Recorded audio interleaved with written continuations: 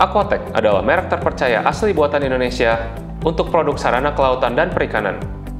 Produk-produk Aquatech mencakup dermaga apung, rumah apung, perahu anti tenggelam, keramba segi empat, dan keramba bundar.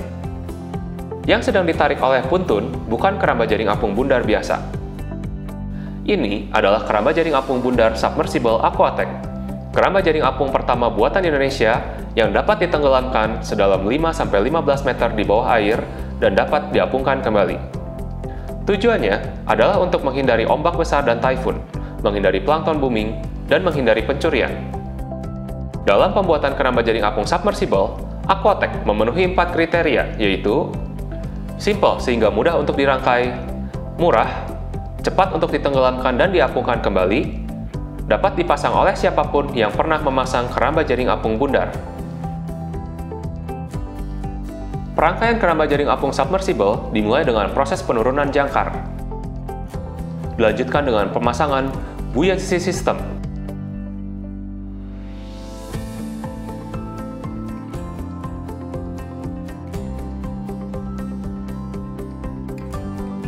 Setelah keramba ditempatkan di atas buoyancy system, keramba jaring apung submersible siap untuk dioperasikan.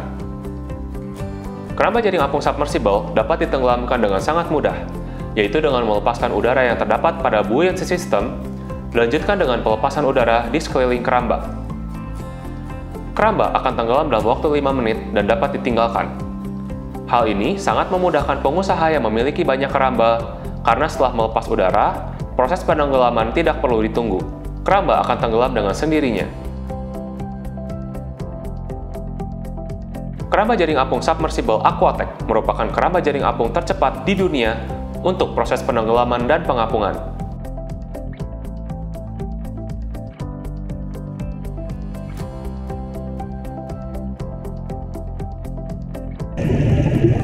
Keramba akan tenggelam sedalam 5-15 meter di bawah permukaan laut sesuai dengan permintaan pemakai.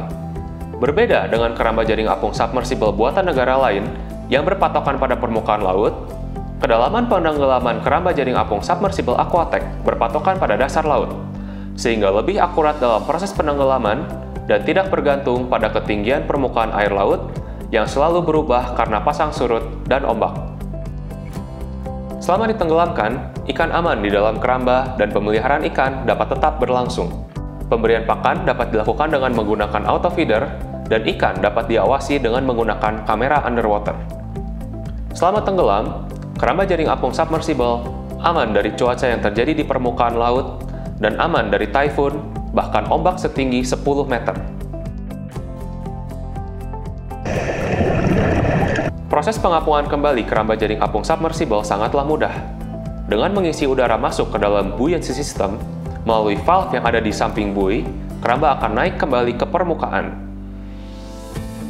Setelah itu, dilanjutkan dengan pengisian udara ke dalam pipa sekeliling keramba. Keramba akan kembali ke bentuk semula. Total proses tersebut memakan waktu kurang dari 10 menit. Proses penenggelaman dan pengapungan tidak membutuhkan penyelam.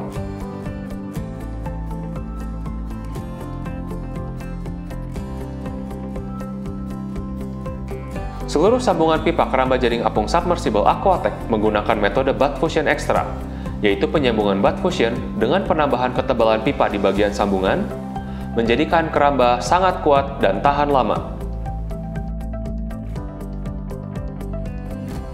Keramba jaring apung bundar submersible Aquatech, inovasi anak bangsa untuk Indonesia.